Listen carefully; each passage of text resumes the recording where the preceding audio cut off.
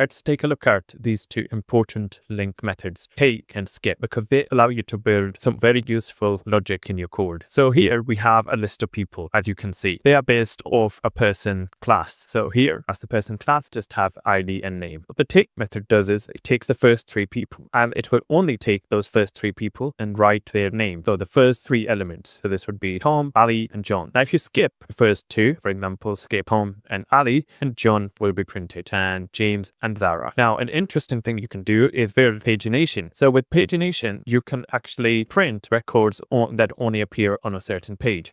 For example, if you have page sizes of two and you are on page number three, then if you were to split your records up, so the one and two, so that's the first page, and you have three and four, those would be on the next page. And finally, the last one would be on page three, because each page can only have two as you specified in the code here. So here page size is two, and we want to do the third page. So here you can see what you do is skip the relevant number of records depending on the page number you are in, minus one of it. This is just a standard to refer back to the previous element and then multiply that by the page size. So page size is here and you just multiply that. So in this instance, if you've got three here, uh, three minus one, that would take you to two and two multiplied by page size of two, that'll give you four. So what it will do is, skip the first four elements as a result of this and give you then using the take method, you would take the relevant number of elements, so which is two. So in this instance, if we go four, so one, two, three, four being skipped because of the skip method here,